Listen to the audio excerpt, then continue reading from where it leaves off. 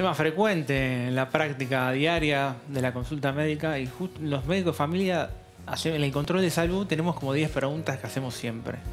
Y una de las preguntas es cómo dormís. Eh, entonces, lo que uno fue viendo con el tiempo es que mucha gente le tiene problemas para dormir. Y como la vida es cíclica y el ánimo es cíclico, muchas veces influye, influye en el sueño. Así que vamos a ir ¿Por dónde querés empezar? Bueno, primero podemos hablar un poco por qué dormimos, para, para qué sirve dormir, ¿no? Eh, el sueño, digamos, es el momento en que nos reseteamos, que apretamos, que nos acostamos, nuestro cerebro toma, toma el control y empieza a tirar toda esa basura que usó durante el día. ¿Por qué? Nosotros usamos para. tenemos como si fuese nafta en el cuerpo, ¿no? Y como no tenemos el caño de escape para alargarlo.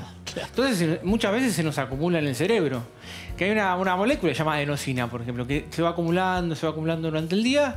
Y es uno de los motivos porque la tarde también estamos cansados, nos tiramos a dormir y todo eso se va. Entonces, eso es lo importante ¿no? de dormir. Acostarnos, resetearnos, que el cerebro tome el control. Y el sueño es complejo, tiene muchas fases. Y es importante que pase por todas esas fases para poder recuperarnos para el otro día. ¿Por qué es esto? ¿Qué pasa si dormimos mal? Ese es el tema. Y bueno, ¿qué, pasa si dormimos mal? Estamos de mal humor, estamos de mal humor, Exacto. somos malas personas. Exacto, te levantás mal. te levantás mal y cuando te levantás mal, el día entero termina mal. Sí. Porque dormiste mal, te levantaste mal humor, humor desayunaste mal. Ni me hables. Ya te peleaste con el. Igual viste que hay gente que ya se levanta muy arriba charlatana y otros que no quieren que le hable. Entonces tenés que ver con quién te levantás a la mañana. Eso es clave. es clave ser, ser, empático con eso. Yo recomiendo levantarse con animales, que los animales no, hablan, entonces acompañan desde el silencio. No, pero es... Puede ser. Pero bueno, eh, lo que te decía es esto. Cuando vos dormís mal, de forma crónica, o sea, eh, durante mucho tiempo, por un lado, se junta todo esto a nivel de neuronal en el cerebro y va generando degradación con el tiempo. Puedes tener problemas, como decíamos, a nivel neurológico. Después, por otro lado, a nivel cardiovascular también. ¿Por qué? Porque genera un poquito de inflamación crónica, se llama. Y la inflamación crónica trae muchas enfermedades con el tiempo, como puede ser la diabetes, la obesidad, problemas cardio en el corazón, eso es lo que va sucediendo. y también, cuando uno duerme mal, las defensas no se recuperan. Entonces, tendés a enfermarte un poco más seguido. Muchas veces me dicen, mira, en el consultorio, Joaquín, estoy cansado, ¿me das algún complejo vitamínico? y bueno, pará, para llegar a eso tenemos que ver un montón de cosas antes, porque es el camino más fácil que tener una pastilla lo solucionas en un minuto, pero la solución a veces no está por ahí. Pero Joaquín, Pero no solucionás eso. le da la pastilla y no queda solucionado. dormir mal lo llaman a dormir de manera intermitente, no poder dormir o dormir poco. Bueno, el insomnio, eh, que es de los trastornos del sueño, es el principal, el más frecuente. Es o que vos te cueste dormirte, o que te levantes en el medio, o que te dormís temprano, pero te levantas y dormís durante toda la noche, pero te levantás cansada. Claro. Entonces ahí también hay un problema en el sueño. Acá pusimos una placa que armaste. nos faltan algunas diapos, pero no importa. No pasa nada. pero eh, fíjate que esa es la definición que acabas de decir. O sea, no puedes empezar a dormir, te levantás a mitad de la noche o te levantás y no te puedes volver a dormir. Exacto, exacto. Entonces, por eso es importante trabajar con el sueño, ¿no? Tener un tomarse un poco el trabajo de decir, duermo bien, me acuesto más o menos, descanso. Porque como te decía, vos podés dormir, pero no descansar. Mm. Así que eso es importante. Y empezar a, No te digo que uno tiene que tener, como charlábamos hace un rato, eh, algún dispositivo que te pida el sueño, pero estar atento, ¿no? Me acosté a tal hora, me levanto a tal hora. Más o menos siempre tengo las cantidades de horas sueños que... La rutina es muy importante, creo, para dormir. Y si vos te garantizás las primeras, las horas de sueño, un buen sueño puede garantizar un buen día. Está bueno. Un mal sueño y puede garantizar un mal día. Entonces, eh, eso es importante. Una pregunta muy frecuente que tenemos en el consultorio es cuánto hay que dormir. Eh, si hay alguien que que, que habló mucho del sueño, que es cardiólogo, te lo traje a él, fue Fuster, que siempre se jactaba de que él dormía poco y que era muy bueno porque dormía poco y aprovechaba el día. Con un- de una forma un poquito eh, graciosa, sí, soberbia. ¿Y qué hizo? Él hizo un estudio después y ¿qué, qué vio? Que el que dormía menos de 6 horas aumentaba mucho su riesgo de tener problemas en el corazón. Entonces, lo que se vio que para poder recuperarte, tenés que dormir más o menos 8 horas. No te digo que todos los días te das un relojito, pero bueno, tratar de estar en, en- en- en ese promedio. Buscar dormir 8 horas. A mí me encanta dormir 7 horas, tío. Me Claro, encanta siete, acostarme horas. temprano y levantarme bien temprano. Pero, ¿Y pueden ser repartidas? Por ejemplo, duermo tres de siesta y, y cuatro a la noche. Bueno, eso es un punto eh, interesante, ¿no? ¿Sirve la siesta? Porque acá en la Argentina eh, somos más en el interior, siempre se habla mucho de la siesta. Sí, claro. Y sabes que se hizo un estudio en la NASA, porque cuando viajan mil horas hasta que llegan ahí arriba, están un montón de tiempo. Entonces la gente veían que estaba cansada y a la mitad lo pusieron en un estudio del sueño y a la otra mitad no, y se vio que los que dormían siestas tenían un poquito mejor rendimiento. ¿Viste? Pero ¿cuánto hay que dormir? Porque viste que a veces te tirás a dormir a las 7 y te levantás no sabes ni qué día estás. Tres horas, Ni, tres ni- horas. ni dónde estás. Es verdad. Que no sabes si te drogaron. Sí. Entonces, ¿por, por qué pasa eso? Porque viste que yo te dije que hay como etapas del sueño. Sí. Y hay una etapa que uno descansa, que el sueño es liviano y otra que es profundo. Y uno empieza cuando se duerme con una etapa liviana y después pasa por la profunda. Y eso es cíclico, va rotando. Entonces lo que se vio con el tiempo es que una siesta adecuada para levantarte enérgico es una siesta corta de 15, 20, 25 No, minutos. eso no es una siesta, perdón. sí, está 15 muy bien lo que minutos. dices. Pero eh, 15 minutos es lo que tardo en dormirme. Pero para reparar el sueño, Claro. que para vos tengas más energía y sacar Sí. más basura de la que charlábamos. Y ahí se vio que una siesta un poquito más largo ayuda, pero tiene estas consecuencias que te levantás medio como medio atontado a veces. Es verdad, vos sos dormir siesta, no. No, no, a la vez, o sea, el fin de semana por ahí me tiro, pero, pero no, la semana imposible. No, pero Eh, es verdad, o sea, eh, una siesta larga, eh, lo que dice Joaco es real, se relaciona mucho más con obesidad y, enf- Y con un cansancio posterior y con el insomnio. Porque si vos dormiste mucho durante el día, y es muy posible que a la noche te cueste dormir. También hay persona- personas que toda la vida le costó dormir. Y lamentablemente el verdad sistema, la, el- el- la vida funciona, el, el día, el, todo, todo el movimiento durante el día. Y tienen un trastorno súper importante con el sueño y sufren mucho en general. Pero bueno, por suerte hay como algunas pautas que lo llamamos higiene del sueño, recomendaciones, que tienen un motivo, ¿no? Obviamente que eh, siempre les aconsejamos fumar.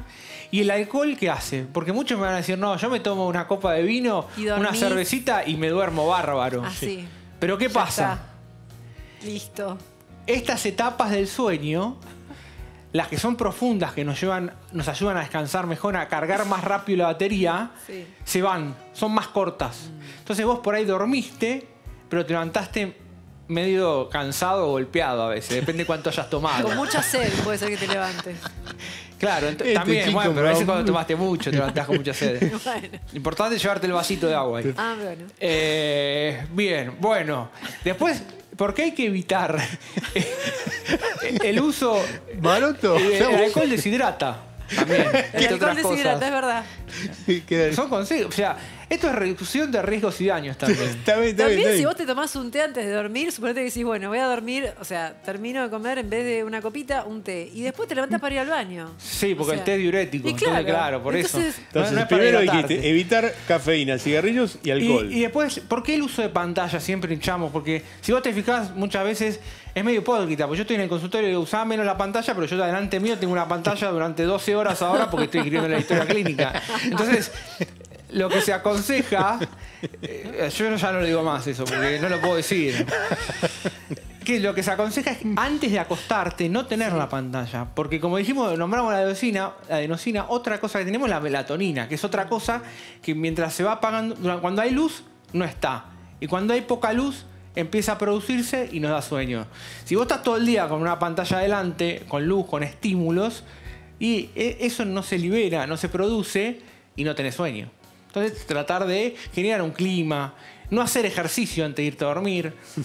¿Por qué? Porque Ah. también Viste que hay gimnasios abiertos las 24 horas, por lo menos acá en Capital hay varios. Sí, sí. Pasás a las bueno, 3 de la sí. mañana y hay gente Más en la que nada, si tenés problemas para dormir, trata de no hacer ejercicio durante el Claro, si noche. tenés- exacto, si no tenés problema, Eh, puedes hacerlo. Y la- las comidas copiosas o abundantes cuando comes mucho Sí. y no es una buena idea antes de acostarte.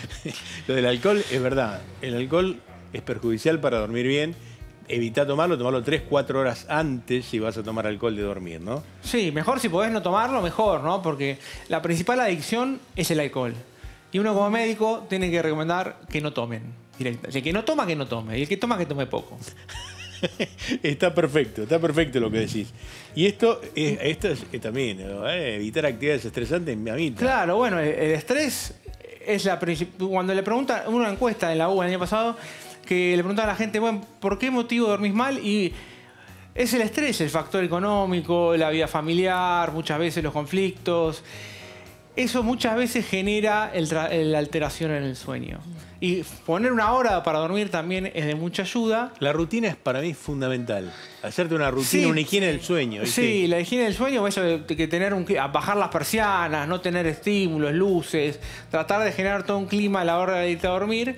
Y mucho, ahora que tenemos el uso de la tecnología con las aplicaciones de meditación, eh, que son El muy útiles de relajación, uno puede bajarse un, un audio y lo va escuchando. O te dormiste porque te aburrió, o te dormiste porque te, te- te atrapó.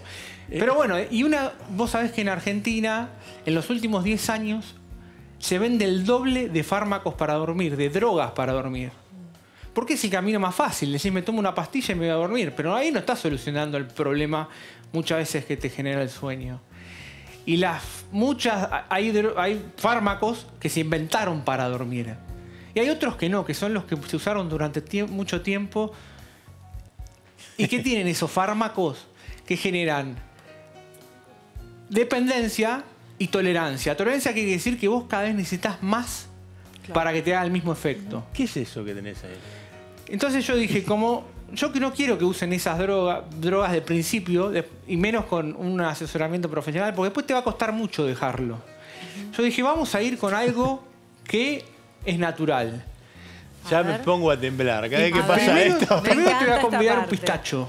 ¿Para qué? Ah, ¿Por qué? Porque tiene melatonina. ¿en serio? Y te va a ayudar a dormirte un ratito antes. El pistacho. Sí, no te lo comas a la mañana porque ya la melatonina a la noche ya no llegó. Pero si te lo dormiste a la tarde. Hay A un partir de las olor. 6 de ¿Qué la es todo tarde podés esto? comer A ver, pistacho. a ver, ¿qué es esto? Bueno, hoy trajimos.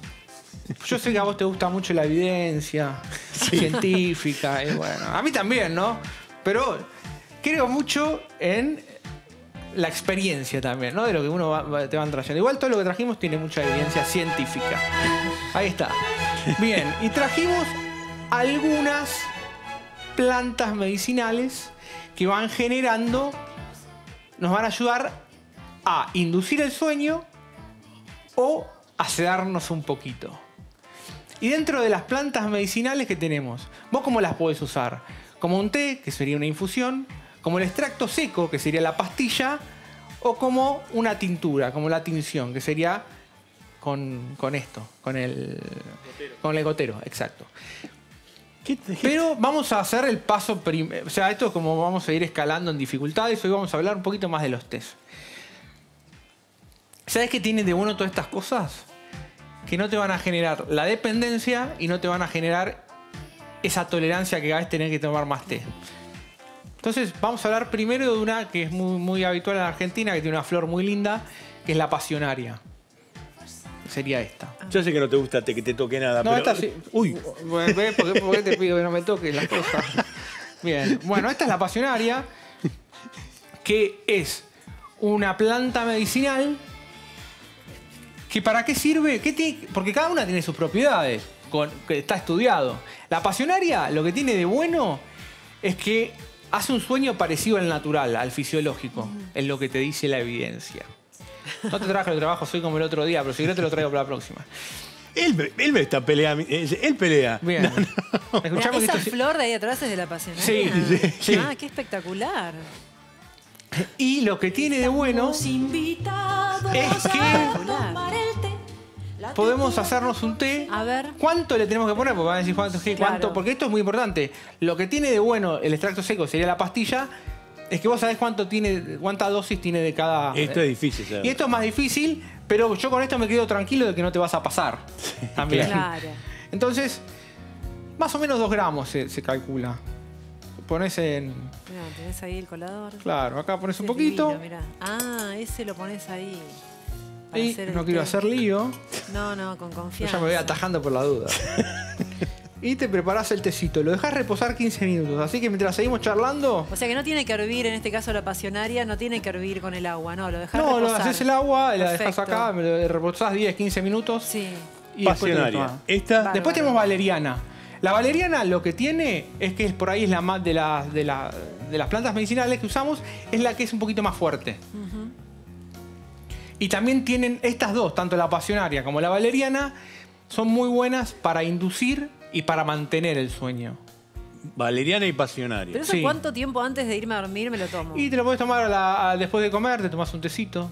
Cuando vas bajando todas las luces de casa, vas entrando en la relajación, pones una música tranquila. Una vas hora entrando antes, en clima de irte a dormir. antes. No te Claro. pones a limpiar la casa antes de acostarte, porque si no, no te dormís nunca más. Claro. O a pelear con, la- Eso, con- no, con- no con es, los que no tenés es alrededor. peleado. No, no he peleado, jamás. No. Este, este es el limeral de Varadero. ¿Trajiste de Varadero esto? No. Este estilo, no.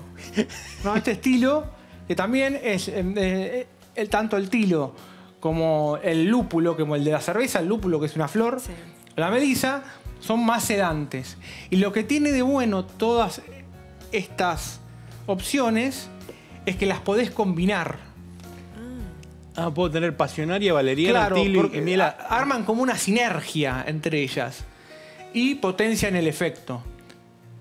Entonces es muy bueno en ese caso. Así que son opciones que yo las recomiendo porque, porque esto es como el tratamiento del dolor. Vos cuando te duele un poco la cabeza, el cuello, lo que te duela, te tomás directamente, usás morfina, no. Entonces, con el sueño tiene que ser igual. Uno tiene que ir escalando de a poquito. Es muy importante lo que está diciendo Juaco.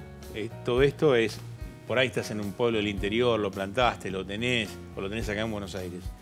Pero es tan importante el tema de que no ingreses a tomar medicamentos para dormir, eh, porque es mucho más fácil, sino que hacer toda la higiene del sueño que dijo él, que, está- que es muy importante, probar con todo esto, ver otra alternativa y lo último, pero lo último bajo indicación médica, tomar alguna medicación. Me parece que es el mensaje más importante que podemos Sí, dar. es lo hoy. más importante y la realidad es que usando con las pautas, pautas de higiene del sueño, con la consulta, hay institutos hoy en día del sueño, digamos que hay mil opciones y hay medicaciones que después se usan, porque tampoco es que la gente tiene que empezar a tomar miedo, pero bajo un control y con una fecha de inicio y una vez se trata de tener una ficha de retirada. Porque ¿qué pasa con algunas medicaciones? Que por ejemplo, vos tenés una persona mayor que está usando estas medicaciones, se levanta a la noche a hacer pis, está un poco mareada y se cae al piso y se fractura. Entonces, es más que nada también por esas cuestiones, porque uno trata de buscar una solución y a veces termina teniendo otro problema. Lo que dice él que hay institutos del sueño, hacer polisomnografía, que es un estudio del sueño, ver si tenés apnea del sueño, hay muchas alternativas, pero lo importante es que duermas bien. Exacto. Juaco, ¿trajiste evidencia de todo esto? Sí, después te la paso por mail.